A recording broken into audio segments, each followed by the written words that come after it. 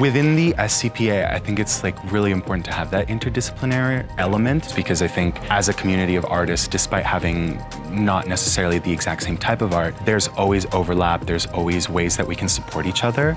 I do enjoy being able to be in a multidisciplinary environment. I think being able to be in a place where we're with other people exploring art in a different way is special and we can collaborate with them.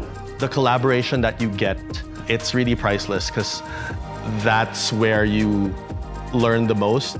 I've always said that your degree is what you make it, and I think that there are fantastic opportunities here, and I think anyone can succeed anywhere, but I think really at the University of Calgary, it's felt easy because of the support that I've been given. If we support each other, um, then anything and everything is possible.